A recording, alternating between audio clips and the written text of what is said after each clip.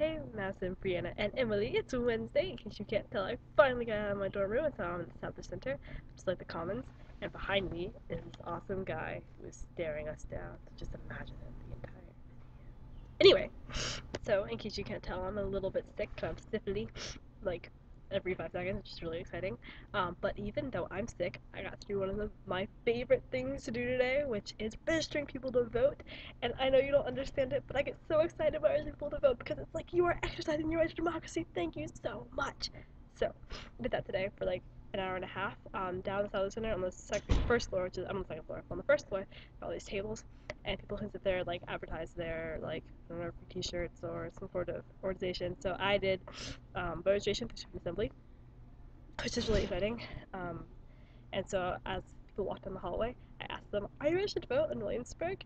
And I a lot of times got yes, sometimes got no, which was even more exciting than a yes because then you can register them right there and they're so exciting.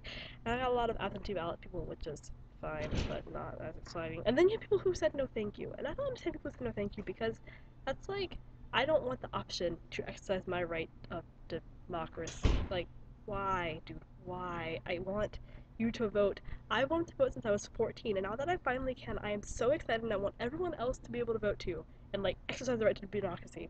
I don't even care if you don't want to vote. Like you just register and not exercise your right to vote. That's totally fine.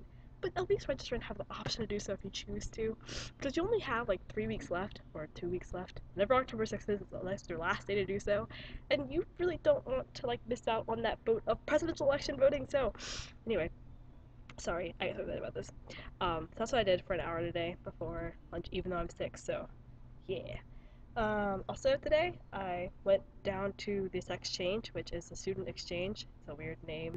I wanted to have some vitamin water because it's quasi-healthy because I'm sick, and I just kind of wanted to drink that was not water, because I don't really water that much. Um, didn't have any, so as a backup plan, I got Sour Patch watermelons because that's obviously the next best thing you can possibly get to fight off a cold. Sour Patch watermelons. So, um, anyway, uh, I also got a package from my mother today I thought it just had like a thermometer and some Nasonex in it, but there's more in it. If you shake it, it sounds like more. But I really couldn't tell you what's all in there because I can't open the package because I'm physically incapable of doing so. I know it's really sad. I've tried and I tried and I tried. And It just doesn't work. This package doesn't like me. It's that guy up there. He's too scary. I can't open it with him around. So, anyway, some comments on the past videos. Madison, I loved your map, but you left out Puerto Rico, which means that you made Guam and the U.S. Virgin Islands and um, the Pacific Islands states, and you didn't make Puerto Rico a state. I'm pretty sure Puerto Rico does not appreciate that, so I hope that you're happy with yourself now. Okay, secondly, Brianna, I would have watched your video, but I really couldn't. I was too sick to understand what you were talking about. I got to the author signing part, and then my brain just kind of exploded and or melted. Um, but I watched that as soon as I am well enough to focus on hard concepts like how the universe works. Um, also, sorry I didn't help you with your Arabic yesterday. I went to bed at like 8.30 so I was really tired and sick. So, speaking of sleeping, the other day I took NyQuil, which has an ingredient that I'm allergic to in it, but I didn't check the ingredients before I took it. So, at like 3.45 in the morning, I woke up with a hallucination that I was a banana. So, don't take medicine you're allergic to. That is not a tribe choice. Uh, by the way, sorry, William Mary Slingo. Slingo? Sli- I, I wanted to say slang, and then I said lingo, and it just became slingo. So that's a new word. Uh, William Mary slang. Uh, tribe choice is like good choice. I don't, whatever.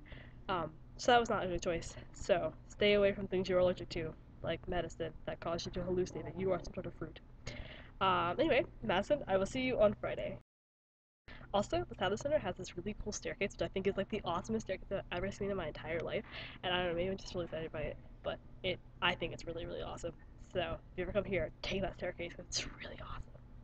Okay,